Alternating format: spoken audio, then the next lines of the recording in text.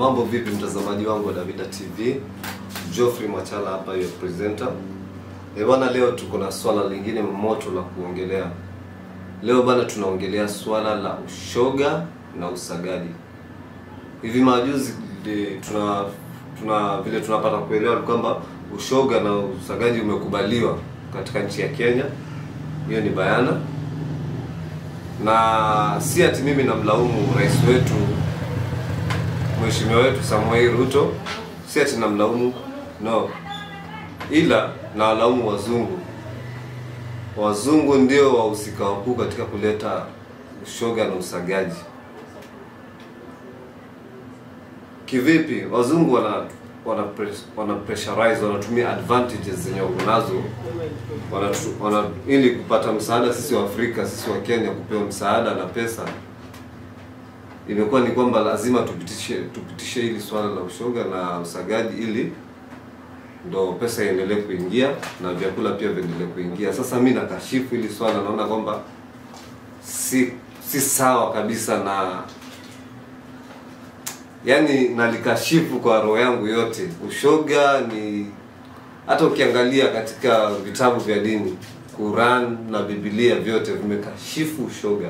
Sasa iweje leo Afrika tunaruhusu janga hili, kwa sababu mimi naliita janga kwa sababu litasababisha majanga. Ushoga si uongo. Hata ukiangalia Sodoma na Gomora ilishushua mvua ya moto kwa ajili ya swala kama hili hili, ushoga na usagaji. Sasa leo hii Afrika, Kenya imefika mahali kwamba imebidi tukubali kwa sababu ya kuwategemea nani?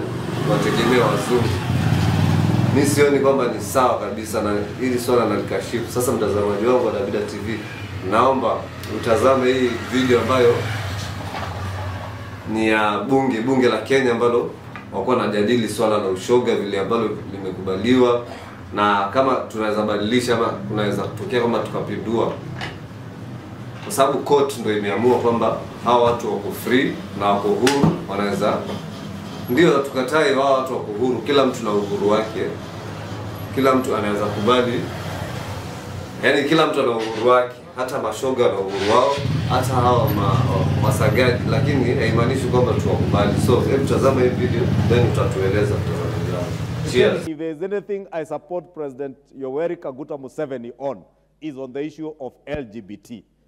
Honorable Speaker, I will not be go to the extreme in how you deal with them, but we must be forthright as a nation to protect our own cultures, our religion, and our beliefs, and we must not allow those countries from the West who believe in those things. Let them believe in whatever they want to believe in, but they must not force us to believe in the things they believe in.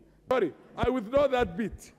I withdraw that bit in the interest and the respect for the animal kingdom. The animal kingdom never engages in that. But the next thing they're going to tell us is that somebody, somebody has a right, a man has a right to marry a woman.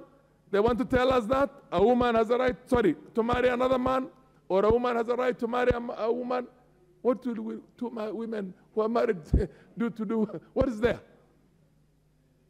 God has created a man and a woman.